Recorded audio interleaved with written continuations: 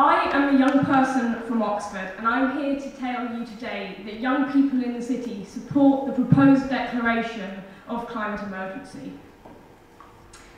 All this climate change stuff can seem very daunting. We can't see it happening on the streets, and yet it impacts every one of our lives. Sometimes it can seem a bit too big, as if nothing that we can do will make any difference. But that is where we are wrong. This proposed declaration of climate emergency is a great opportunity for the city, and I can't exaggerate how much hope it gave other people in my classes when I told them about it. The consensus for positive action is massive.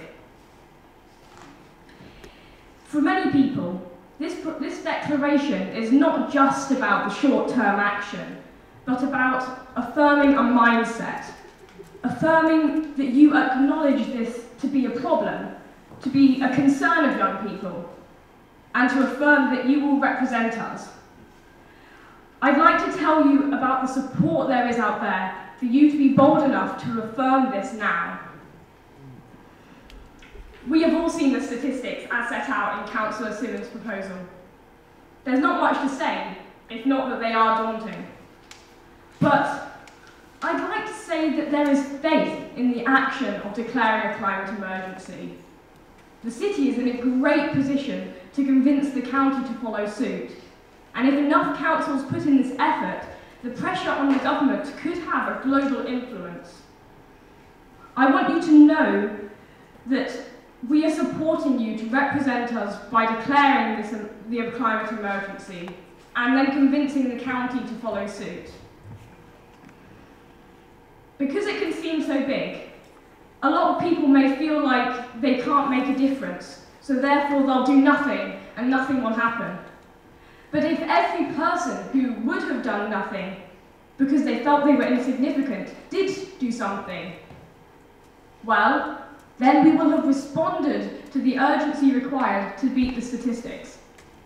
Please let your small action today be to, to affirm and support the, de the declaration of climate emergency. One day, we want to be able to give our children a beautiful, sustainable world to live in. To be able to tell them what we did in order to help change the fate of our planet. But the Paris Climate Conference has said 12 years. 12 years? It looks like if you want to be able to give your children a sustainable and happy place to live, if you want to be able to tell us what you did to change the fate of our planet, then you're going to have to act now.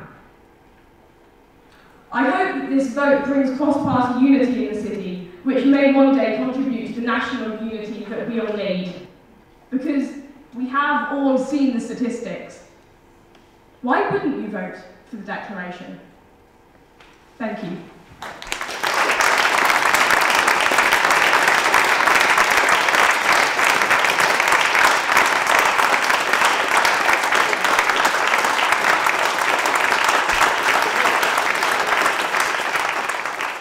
Uh, all those in favour, please show.